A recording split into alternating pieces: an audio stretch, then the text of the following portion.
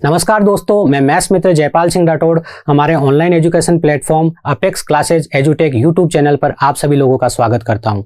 दोस्तों, आज हम, जैसा कि हमने डिस्कस किया था, एक विशेष प्रश्न पे बात करने जा रहे हैं, जहाँ हम बेसिक अप्रोच भी सीखेंगे और एग्ज़ाम अप्रोच भी सीखेंगे। हम ये जानेंगे कि ये प्रश्न हम बेसिक तरीके से कैसे सोल्व कर सकते हैं, साथ ही हम ये भी जानेंगे कि परीक्षा में जब ये सवाल आता है तो हम व्यवहारिक ज्ञान लगाकर सीधे तरीके से बात को सोच के दस सेकेंड में कैसे उत्तर निकाल सकते हैं। तो चलिए हम प्रश्न प्रश्न के बारे में बात करते हैं। बहुत ही फ़ेमस और विभिन्न परीक्षाओं में आया हुआ सवाल है। सवाल क्या है? किसी छात्रावास में तीस छात्र है, दस छात्र और आ जाने से कुल खर्च साठ रुपए बढ़ गया, किंतु प्रति व्यक्ति खर्च एक रुपए कम हो गया। छात्रावास का पिछला व्यय कितना था? तो देखिए, हम बात करते हैं। सबसे पहले मुझे बताइए, आप कुछ दोस्त लोग कहीं घूमने गए और एक बच्चे का खर्चा आया पचास रुपए, और आप बीस लोग हो तो आप खर्चा कैसे निकालोगे?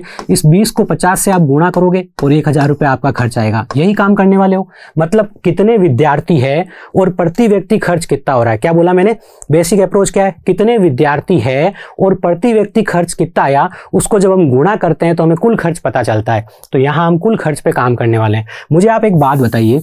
अगर मैं पुराना खर्च लिखूँ, अगर मैं लिखूँ पुराना खर्च और उसके अंदर मैं क्या कर दूँ? ध्यान से सुनिएगा।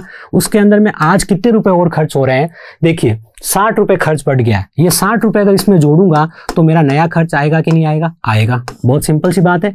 ये एक बेसिक बात है, ठीक है? चलिए, अब इस पर हम काम करते हैं। तो काम कैसे करना है, वो समझिए। देखिए, पहले बताइए कितने छात्र थे? छात्र थे तीस, ठीक है? प्रति व्यक्ति खर्च कितना है? प्रति व्यक्ति खर्च हम मान लेते हैं पी रुपए।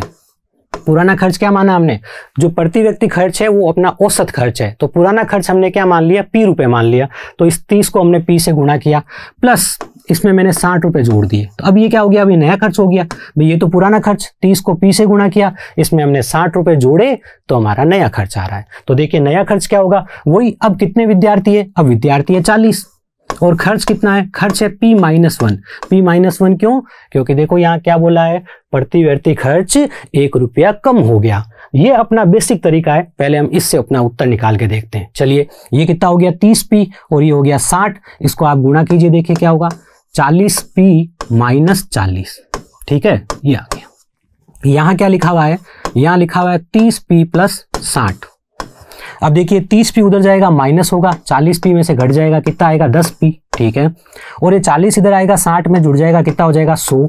दस पी बराबर कितना है? सौ तो पी बराबर कितना आया? दस। मतलब पुराना औसत खर्च दस रुपए था। पुराना औसत खर्च कितना था? दस रुपए। अब मुझे बताओ, अपने से क्या पूछा है? अपने से पूछा छात्रावास का पिछला व्यय कितना था? मतलब पहले कितने रुपए खर्च होते थे? अभी मैंने कैसे, क्या सिखाया था? कैसे करोगे? तीस विद्यार्थी थे और एक विद्यार्थी पे कितने रुपए खर्च होते थे? दस। तो कितना हो गया? देखिए, तीस विद्यार्थी थे। एक विद्यार्थी पे अगर दस रुपए खर्च हो रहे हैं तो खर्च हो गया तीन सौ रुपए। ये बेसिक तरीके से हमने इस सवाल को हल किया।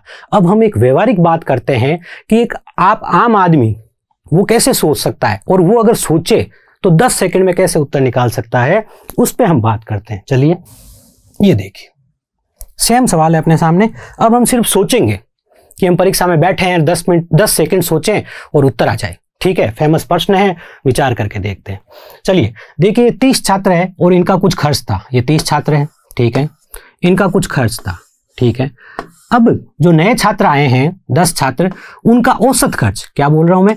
उनका औसत खर्च हम वो मान लेते हैं जो नए छात्रों का है। जब चालीस मिल गए क्या कहा? सुनना, सोचना कि भाई जो नए छात्र आए हैं, वो वो औसत रुपए खर्च कर रहे हैं जो नए, अब पूरे समूह का, अब जो 40 जनों का औसत खर्च है, वो नए वाले खर्च कर रहे हैं। ऐसा हमने सोच लिया। अब देखते हैं। लेकिन इनके आने से खर्च क्या हुआ? एक रुपया कम आ गया। औसत खर्च एक रुपया कम हो गया। मतलब इन सब लोगों का औसत खर्च एक रुपया कम हो गया। मतलब ये सब एक एक कम हो गए। देखो, ये तो नया औसत है। ये तो नया औसत है। बात सुनना। सिर्फ़ सोचना है, पाँच सेकंड में उत्तर आ जाएगा। ये तो नया औसत है, इन सब का औसत एक एक रुपया कम हो गया। मतलब तीस लोगों का कितना कम हुआ? तीस रुपया। ये तीस रुपया कहाँ गया? ये तीस रुपया इन लोगों ने ले लिया, ठीक है? तीस रुपया तो इन्होंने इनसे ले लिया और साठ रुपए ये लेके आए थे। तो तीस और साठ को जोड़ा तो कितना आ गया? नब्बे रुपए। मतलब ये जो दस छात्र नए आए हैं, इनका औसत खर्च, कुल खर्च नब्बे रुपए है। तो औसत खर्च कितना हो जाएगा? अब ये तो बहुत सिंपल बात हो गई। देखिए, नब्बे हैं दस छात्रों का तो एक छात्र का कितना हो गया? नौ रुपए। इसका मतलब नया औसत खर्च नौ रुपए है।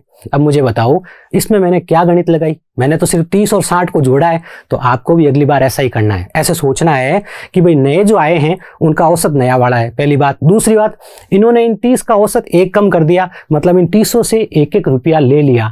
तो कुल कितने रुपए ले लिए इन्होंने? तीस रुपए ले लिए और साठ रुपए लेके आए थे। तो तीस और साठ को जोड़ना है नब्बे, उसके लिए तो कुछ लिखने की भी ज़रूरत नहीं है। तो तीस और साठ कितने हो गए? नब्बे रुपए। नब्बे रुपए दस जनों का, एक का कितना हुआ? नौ। अब मुझे बताओ, नए वालों का औसत खर्च जब नौ रुपए है तो पुराने वालों का कितना होगा? पुराने वालों का होगा दस रुपया, क्योंकि एक कम हुआ है ना, एक कम होने के बाद नो है तो पुराने वालों का हो गया दस रुपया। अब सिंपल सी बात है, दस रुपया हो गया। मतलब पुराने वालों का औसत खर्च दस रुपए था, और लोग कितने हैं? लोग है तीस। तो दस इंटू तीस कितना हुआ? तीन सौ।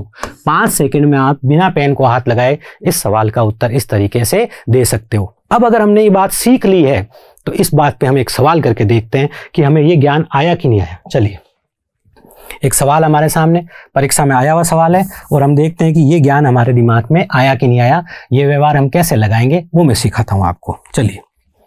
एक लाइब्रेरियन ने अपने पुस्तकालय के लिए 50 कहानी की पुस्तकें खरीदी, किंतु उसने देखा कि रुपये छिहत्तर और खर्च करने पर उसे 40 चौदह पुस्तकें और मिल सकती है। प्रश्न को बड़ी गहराई से पढ़िएगा।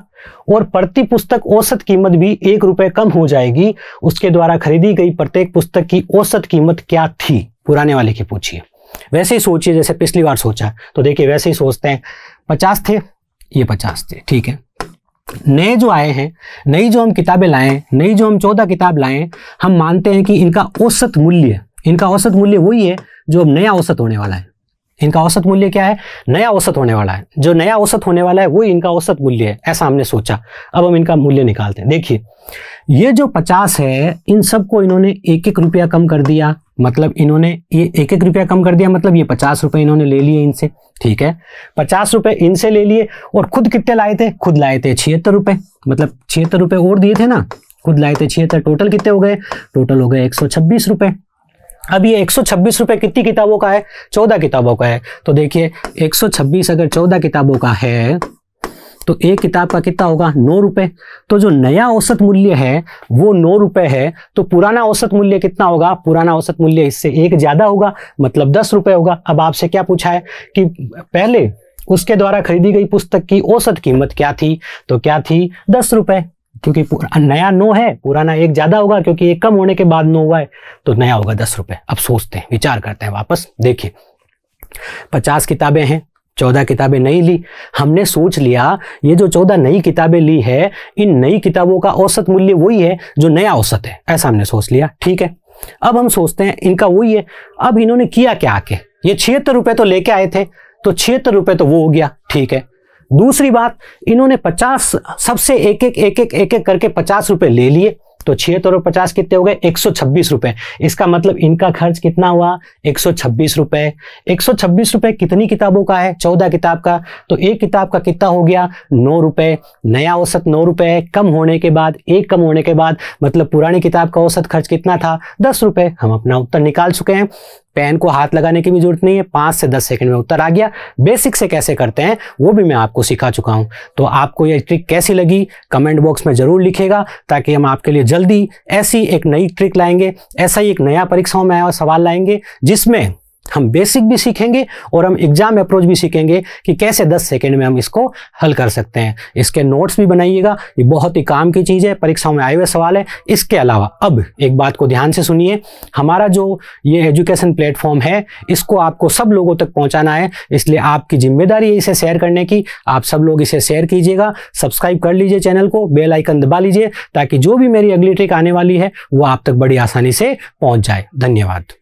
सब्सक्राइब करें हमारा Apex classes Edutech YouTube channel साथ ही बेल आइकन को क्लिक करना बिल्कुल ना भूलें, ताकि आगे आने वाले सभी यूट्यूब वीडियोस की अपडेटेड नोटिफिकेशंस सबसे पहले आपको मिले। Apex classes Edutech subscribe now